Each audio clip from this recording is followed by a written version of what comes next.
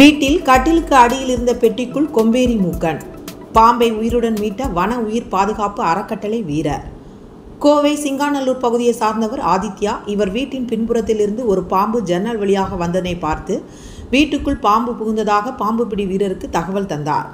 வன உயிர் பாதுகாப்பு மற்றும் இயற்கை பாதுகாப்பு அறக்கட்டளை சார்ந்த பாம்பு பிடி வீரன் மோகன் ஆதித்யா வீட்டிற்கு சென்றார். பாம்பை பார்த்தபோது பாம்பு இருந்த இடம் தெரியவில்லை. வீட்டின் ஜன்னல் வழியாக பாம்பு உள்ளே புகுந்ததாக வீட்டின் உரிமையாளர் ஆதித்யா தெரிவித்த நிலையில் அந்த வீட்டின் அனைத்து பகுதிகளிலும் தேடி இருக்கின்றனர் அப்பொழுது படுக்கை அறையில் உள்ள கட்டிலுக்கு அடியில் சூட்கேஸ் ஒன்று இருந்ததை பார்த்து அதனை திறந்த பொழுது பாம்பு படுத்திருந்தது.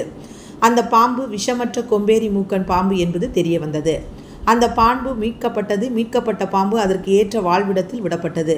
அதிக வெயிலையும் கடும் குளிரையும் பாம்புகள் தாங்காது.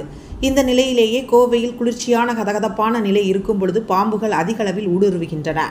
பொதுமக்கள் தங்களின் வீடுகளை சுத்தமாகவும் சுற்றுப்புறத்தை தூய்மையாக வைத்துக் கொள்ள வேண்டும் என அறிவுறுத்தும் பாம்பு பிடி வீரர் மோகன்.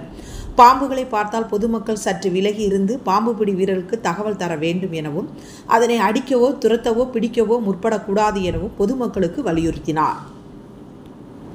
கொடுத்த ரெண்டு கிளாத் பேக் இருந்தது.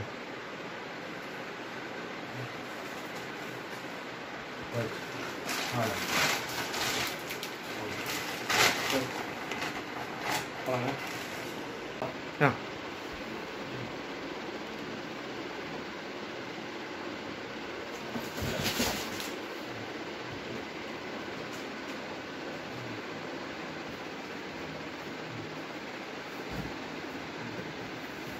건배를 못 된다. 하나만 보면 여러 번. 아, 제. ஆ சரி. இல்லை இல்லை இது நாங்கள் போட்டுருவோம் ம். காமிச்சு.